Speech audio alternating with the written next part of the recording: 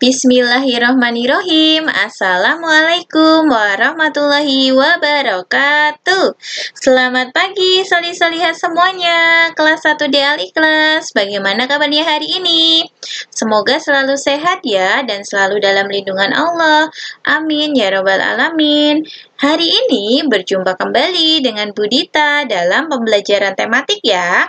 Nah hari ini kita akan belajar tematik. Tema 6 masih seperti tema-tema sebelumnya, tetapi kita sudah masuk ke subtema 1 pembelajaran yang keenam ya, di pembelajaran yang terakhir.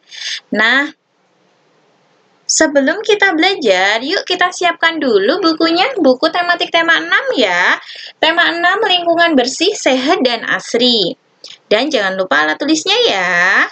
Nah, akan selalu Bu Guru ingatkan kalian agar selalu mematuhi protokol kesehatan sayang.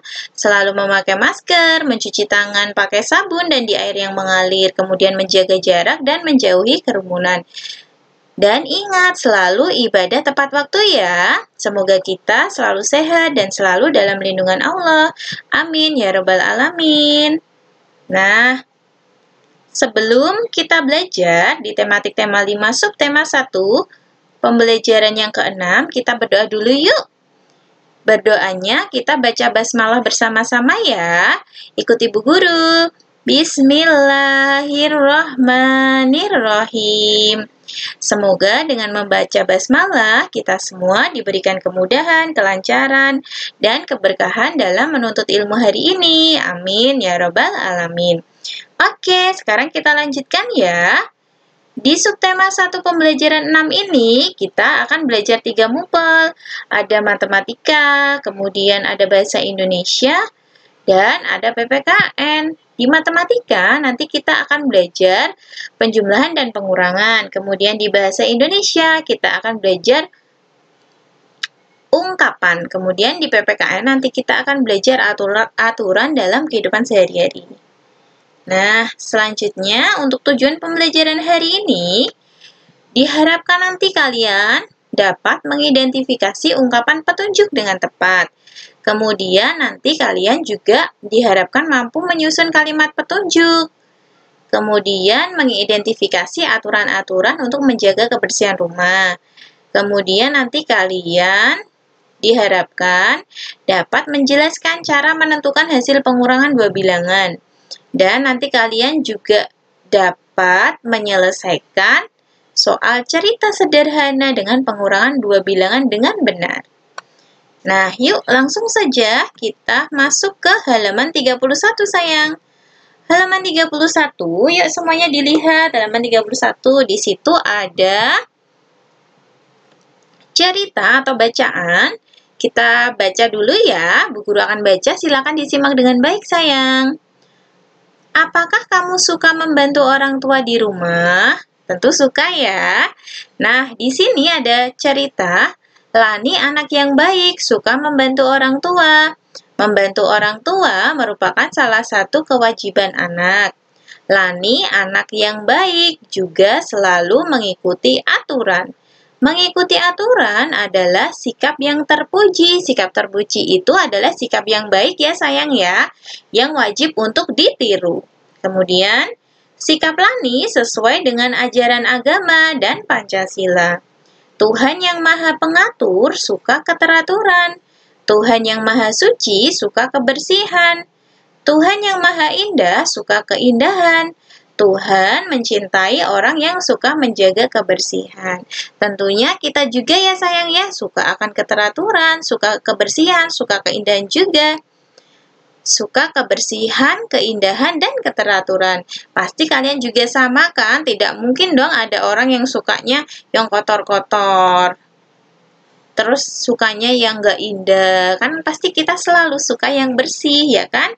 Kalau bersih indah teratur pasti hidupnya akan nyaman dan bahagia. Nah kita lanjutkan lagi di halaman 32 nah di sini ada salah satu kegiatan Lani di rumah adalah menjemur pakaian. Nah di sini ada urut-urutan menjemur pakaian nih. Nah nih kita kasih angka dulu ya. Yang ini dikasih angka di kotak bawahnya gambar, ada kotak kecil kan di situ.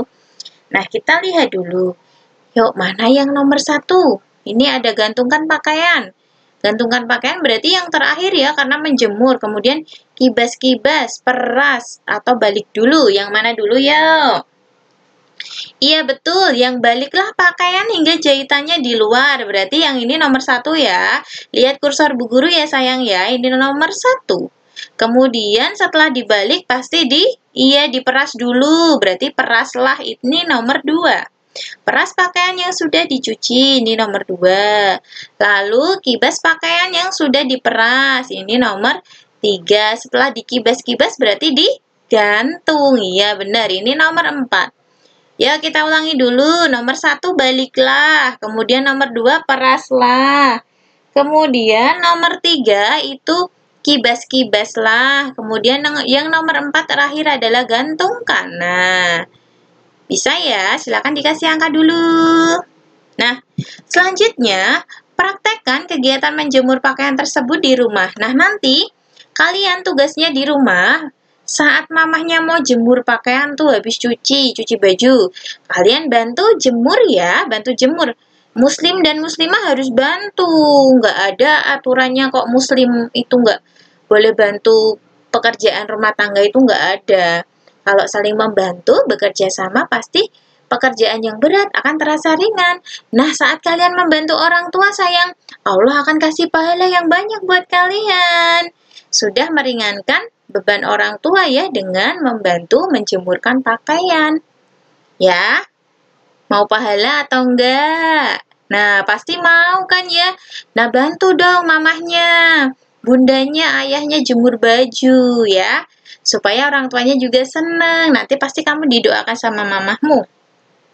Sama ayah sama bunda kalian kan. Ya Allah, anakku sudah membantuku. Semoga anak Mungkin orang tuanya akan berdoa seperti itu. Jadikanlah anakku ini anak yang soli, anak yang soliha. Mau gak didoain orang tua? Pasti mau kan? Iya dong, pasti mau. Bu guru aja yang sudah besar seperti ini didoakan aja senang sekali. Nah, sekarang kita lanjutkan lagi ya. Di halaman 32, yuk. Ayo bercerita.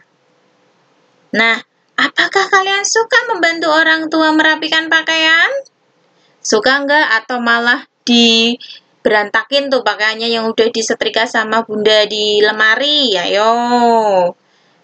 Harusnya suka ya bantu orang tuanya ya sayang ya merapikan pakaian. Nah nanti kalian bisa ceritakan kebiasaanmu di rumah membantu orang tua. Mungkin membantu merapikan baju atau membantu merapikan mainan. Nah saat Zoom nanti akan Bu Guru tanya ya. Kalian bisa ceritakan nanti apa yang sudah kalian lakukan kebiasaan baik di rumahnya dalam membantu orang tua ya. Nah selanjutnya kita di halaman 3 tiga. Nah, ayo berlatih. Selesaikan soal-soal cerita berikut dengan teliti. Nah, ini ada soal, kemudian sudah ada contoh mengerjakannya. Yuk kita lihat yuk di halaman 33. Nah, di sini ada baju yang dijemur ada 24 potong. Ada baju dewasa dan anak-anak. Baju anak-anak ada 11 baju. Berapa banyak baju dewasa yang dijemur? Yuk kita lihat, baju yang dijemur 24, diuraikan dulu sayang, seperti yang kemarin sudah kita pelajari bersama ya, 20 ditambah 4. Kemudian baju dewasa 11, berarti 10 ditambah 1. Baru dikurangi. Kemudian hasilnya 4 dikurangi 1 ada 3. Kemudian 0 kurangi 0, 0. 2 dikurangi 1, 1. Jadi 10 ditambah 3 hasilnya 13. Jadi banyak baju dewasa yang dijemur adalah 13. Caranya bisa ya. Kemarin kita sudah latihan lewat Zoom ya, ya kan?